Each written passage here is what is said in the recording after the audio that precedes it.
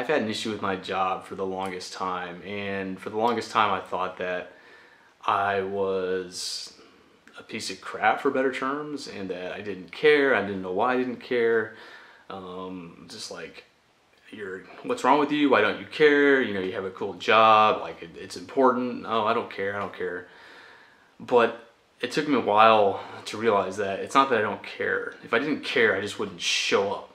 Like I just wouldn't show up. I I don't care. I'm not going to come. I'm not going to do anything. That's not the case, obviously. So I'm going to talk about the. I'm going to talk about the difference between um, not caring and not being interested. There's a big difference.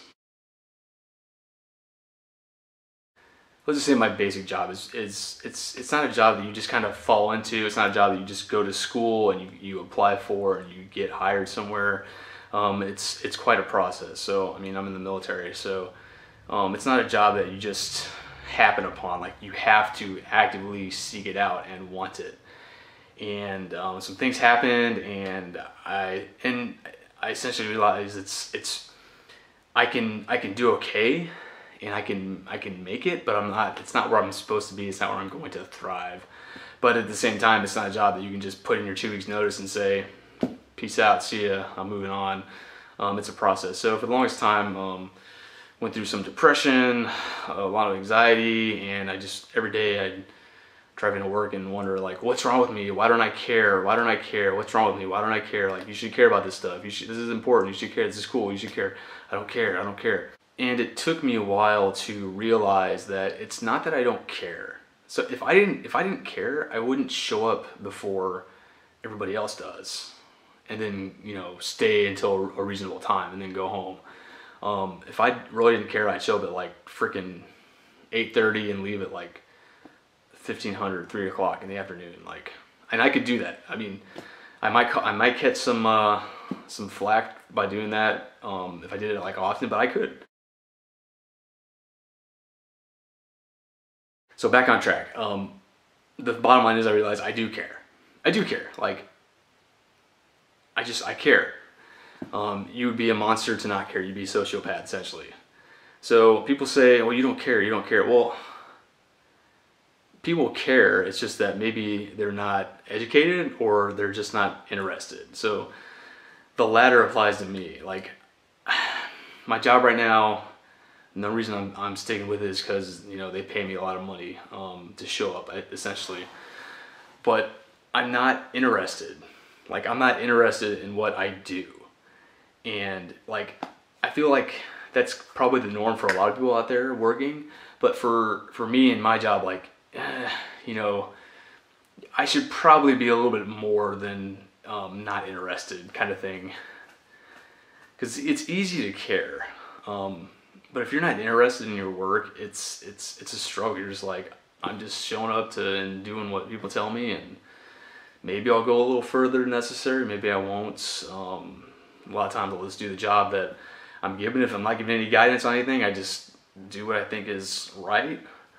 Um, but like I'm just I'm not I'm not interested, and it's it's hard. And I think the trap that people catch them people catch themselves in is that they get tied up in this job where um, they're okay at it. You know, maybe they're you know they care about it, but they're not really like it's not like their passion, their drive. They're not motivated but they get paid well, you know, benefits are good, blah, blah, blah. And they just kind of stick with it. And you can do that, but it just, it just like really sucks the life out of you. Somebody like me, somebody who's very like, um, touchy feely, like, you know, I gotta, I gotta be emotionally invested in something. The point of this video is that it's, it's not okay to not be interested in your job. In fact, it, it sucks. It's, it's not good for you personally. It's not good for your organization that you're working for. Um, and you know, if there's a better solution out there, I highly recommend you you find something that you are interested in, you can do. Um, just such a I'm just in such a weird spot right now. That's keep going to work, they keep paying me, but it's like I'm not I'm not in it for the long run. You know, it's it's just hard. But I've gotten over the anxiety and depression because I've just realized that I do care and I'm just not interested. And you know, right now in my mind, that's okay.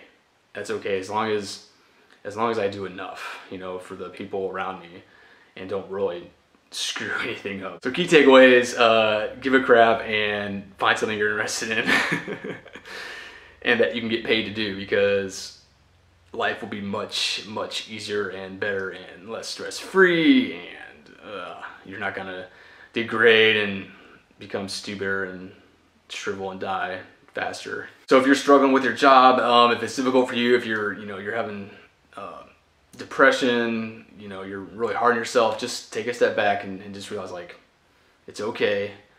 The world's gonna keep on spinning. Everything's gonna be fine. Just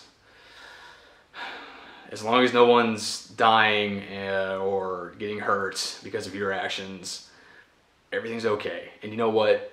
If you really, if you suck at your job because you're not interested, um, you're either going to get fired, which I could get fired, but like, like move in my in my job, if I get fired, I just get moved somewhere else in the organization. Um, or I imagine if if you really do suck, if you think you suck and you really actually do, like I think I suck, but I don't. I, I in reality, when I come to back to reality, I know I don't really suck.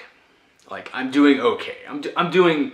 I'm meeting the standard, I guess. So if you think you really suck and you really suck, then you, there'll be consequences. But if there's no actual consequences and you're really hard on yourself and you're getting down because you're like, I don't care and I'm not interested, um, just come back to reality and know that, hey, you may not be the best at your job. And for somebody like me, who's always been really good at what they do and is now not, it's just, it's hard. Okay, so here's how I've spent my $2,900 stimulus check, okay? So, uh, every single person gets 1200 or not single person every dog gets $1200 and if you have a kid it's $500 per kid right? So i'm married i have one kid that's $2900 how have i spent that money? Um, well first of all i'm not i'm not in a position where that money is actually needed like a lot of people are. So hey if you're if you're in that position where this money is really um, gonna get you you know through the week or through the month or through the next couple months that's great. You know more power to you. Um, spend it wisely. But uh, for me, I gave $500 to my son. Um, he's, he's, he's a little under two years old and he's a very diligent saver. Um, so I know he's gonna do, do a lot of good things with that money. Know, I just went to a savings account. Um, I gave my wife for $1,200. Um, uh, I, I imagine she's gonna, you know, pay off her credit card, you know, buy groceries with that. And the, re- the um, I paid off my credit card with my $1,200. I, I had like 700 something on it because I paid for my home inspection with it and the rest is just sitting in savings. I'll probably just be used for bills or things like that. So um, if you're looking for a way to um, double your money or some bullcrap like that, I don't have the answer for you. And honestly, nobody does. Unless you're like a genius investor, in that case, you're probably already rich. This has been USMC Saxoki. Live smarter, live simpler, live with more money. Um, thanks for listening to me rant and uh, hang in there. Hang in there.